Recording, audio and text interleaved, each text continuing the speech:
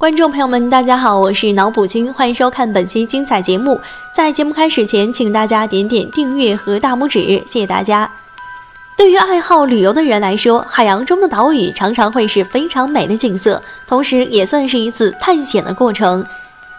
大海洋之上，同时也存在着许多未知的岛屿。幽灵一词的含义，就是存在于人们心中忽来忽去、时隐时现的现象。而世界上就存在着这样一批岛屿，它们经常会在人们的视线中出现，但是又会在不知不觉中失去踪影。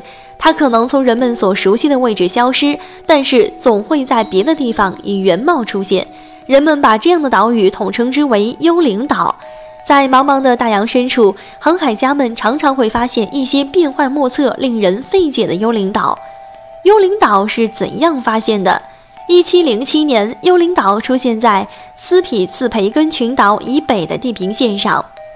一名英国船长在这里发现了陆地，但是却始终无法接近。于是他将幽灵岛标记在了航海地图上。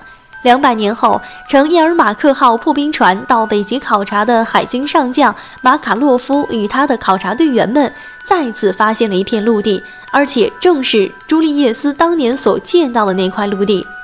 航海家沃尔斯列伊在一九二五年经过该地区时，也发现这个岛屿的轮廓。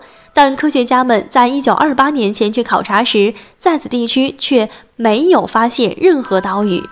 一八三一年七月十日，一艘意大利船只途经西西里岛附近，船长突然发现，在不远处的海面上海水沸腾，喷涌起一股高约二十多米的水柱，直径大约两百米。刹那间，水柱变成了一团五百多米高的烟柱，扩展到整个海面。因为从未见过如此景观，船长被惊得目瞪口呆。八天后，当这位船长再次经过这一海域时，发现一个从未见过的小岛出现在海面上。这个岛高三米左右，从岛的中央部位仍在喷出巨大的蒸汽柱和碎屑物质。在周围的海面上，则漂浮着大量红褐色的石块和死去的鱼类。到了这一年的八月四日，这座小岛已经长高到六十多米。许多科学家冒着仍然灼热的蒸汽上岛进行考察。他们发现，岛上既没有动植物，也没有贝壳和藻类，只有浮石、火山渣和纺锤形的火山弹等物质覆盖了整座小岛。随后，英、法、德等国先后派专家前去勘察，并争先恐后地为小岛命名。费迪南德岛便是其中之一。英国国王更是匆匆宣布，该岛的主权为英国所有。可是，这个岛明明是在意大利附近嘛，看样子很有可能为它爆发一场战争。正当人们忙于为这个新岛测量命名时，将它划入海图并确定其归属权时，在当年的九月九日，即小岛出生后一个多月，它突然又缩小到了原来的八分之一大小。又过了两个月，这个小岛居然在海面上消失得无影无踪了。在此后的一百多年里，在此后的一百多年里，这座小岛一再出现和消失。它最后一次浮到海面上来的时间是一九五零年。关于这种时隐时现的岛屿，历史上曾有过很多相关记载。例如，公元前一八六年到公元一九年，希腊附近的爱琴海中就曾先后涌现出四个小岛，在当时被称为神岛。还有挪威海域的多尔蒂岛，从一八四零年到一九二九年，这个岛也曾多次出现后神秘消失，而消失一段时间后又会出现。幽灵岛出现在了第二次世界大战期间。一九四三年，日本海军空军在太平洋与美军交战中节节失利，设在南太平洋所罗门群岛拉包尔的日本联合舰队总队遭到美国空军的猛烈轰炸后，日军有一批伤病员和一些战略物资需要疏散。日本侦察机发现，距拉包尔以南一百多海里的海域有一个无人居住的小岛。这岛上绿树成荫，有小溪流水，几十平方公里的面积，又不在主航道上，是一个疏散隐蔽伤员的好地方。于是，日军将一千多名伤病员和一些战略物资运到这荒无人烟的海岛上，将伤员安置后，日军总部一直与这里保持着联系，并经常运来食品和医疗用品。谁知一个多月后，日军总部与这个小岛的无线电联系突然中断了，军舰前来支援，却再也找不到此岛了。一千多名伤病员与物资也随小岛一起失踪了。几乎与此同时，美国侦察机也发现了该岛，并发现有日军躲藏。但当他们派出军舰前来搜索时，也扑了个空。这个海岛上与岛上一千多人究竟哪儿去了呢？战后，日本、美国都派出海洋大型考察船到这片海域搜索，并派了潜水员潜入海底寻找了较长时间，但均未发现任何踪影。一九九零年，美国中央情报局在太平洋战略重要海域的一座无人居住的小岛上，偷偷安装了海面遥感监测器，与天上的美国军事间谍卫星遥相呼应。监视前，苏联海军在太平洋海域的动态，通过这座谍岛获得的情报，直通五角大楼。美国国防部，而且凡在这一带海域过往的商船、军舰，以及在此出没的潜水艇、飞机等，也无不在五角大楼监视之中。一九九一年年中的一天，一直保持畅通的谍岛的监视系统和信息系统却突然中断了。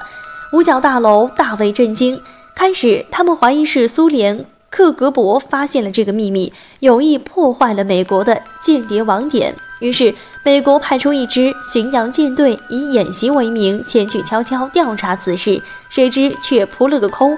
舰队赶到出事地点，却发现谍岛已经从海洋中消失了。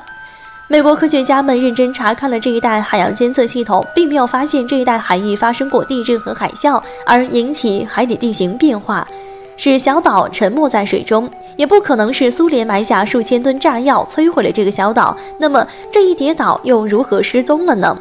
五角大楼陷入茫然不知所措的境地。这种时隐时现的幽灵岛究竟是从何而来，又因何而去呢？多数地质学家把小岛的成因归结为海底火山喷发的作用。在海洋的底部有许多活火山。当这些火山喷发时，喷出的碎屑物质和熔岩在海底冷却凝固，并不断堆积起来。随着喷出的物质不断增多，堆积物堆得高出海面的时候，就生成了一个新的岛屿。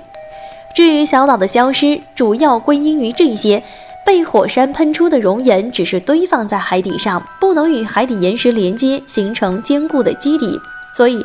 这种新岛屿就像没有地基的房子一样，抵抗不了海流的不断冲刷，不久后就会从根部折断，继而坍塌消失。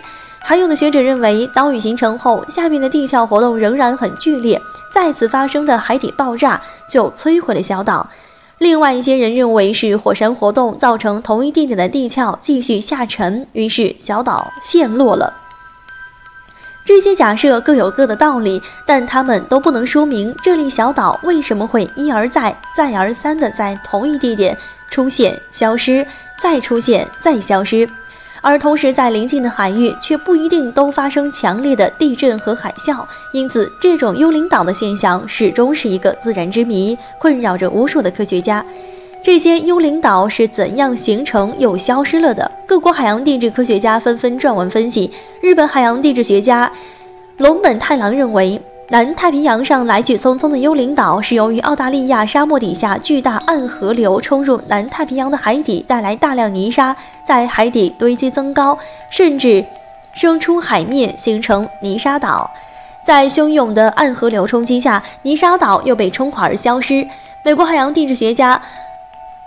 亨利·高罗尔教授则认为，幽灵岛上的基础是花岗岩石，且岛上有茂盛的植物与动物群，它形成的年代久远，暗河流是冲击不了的。他认为是由于海底强烈的地震与海啸使它葬身海底，但这一论断又无法解释美国谍岛失踪之谜，因为这一带没有海底地震与海啸的发生。目前，像幽灵岛这事件，这些谜团尚有待科学家们再探索、再研究，予以真正的破解。传言中，幽灵岛不能接近，但有的又可以接近。